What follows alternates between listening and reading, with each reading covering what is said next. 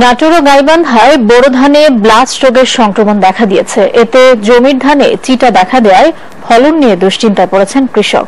এদিকে পঞ্চগড়ে টমেটো খেতে ব্লাইট রোগের সংক্রমণে দিশেহারা কৃষকরা।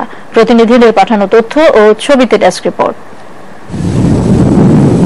এ চিত্র নাটোরের হালদি বিলের। বোরো ধান পাকার সময় হঠাৎ করেই ধানের শীষ মরে চিটা হয়ে যাচ্ছে। এতে মারাত্মক ফলন বিপর্যয় দেখা দেবে বলছেন কৃষকরা। ধানের গোড়া ভালো আছে মাথার দিক শীষ পচে যাচ্ছে যা ধান পড়ে গেছে। অর্ধেক কাঁচা ধান। সেই ধান বারো আনা ধান ঝুড়ে পড়ে গেছে। কত কত জমি আপনার দুই আনা হবে কত বারো আনা হবে কত চোদ্দ আনা হবে এরকম ধান হবে কিন্তু কত কত জমি এমন হচ্ছে তা মারি যার মতন। এটিকে ব্লাস্ট রোগ হিসেবে চিহ্নিত করে তা প্রতিরোধে কৃষকদের পরামর্শ দেওয়া হচ্ছে বলে জানিয়েছে কৃষি বিভাগ। তবে কৃষকরা বলছেন পরামর্শ মেনেও কোনো কাজ হচ্ছে না। ব্লাস্ট রোগের জন্য আমরা নিয়মিত পরিদর্শন করছে মাঠ এবং চাষিদের নিয়মিত পরামর্শ দিচ্ছে। মেলা ওষুধ পাতি দিছি কোনো রোগ ছাড়েনি। সরকার যদি আমাদের না করে তাহলে আমার বউ সারলে না খাই মেটে যাব ধানের খুবই খারাপ চার গুণ পাঁচ মিনিট হারে বিঘা হতে হবে তাহলে আমার কীভাবে কীভাবে বাঁচবো?